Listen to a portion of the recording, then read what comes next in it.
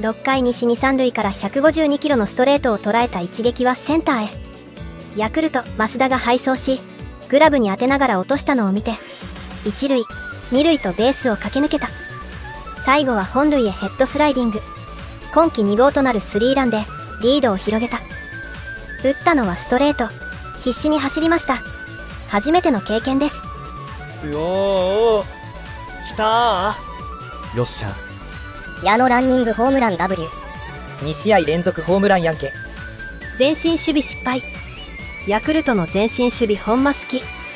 矢野ものすごい。すっごい脚力やな。まさかのランニングホームラン。2試合連発や。ランニングホームラン久しぶりに見た。天谷が昔打った以来か。最近の矢野は打球の勢いも強くなってきててええな。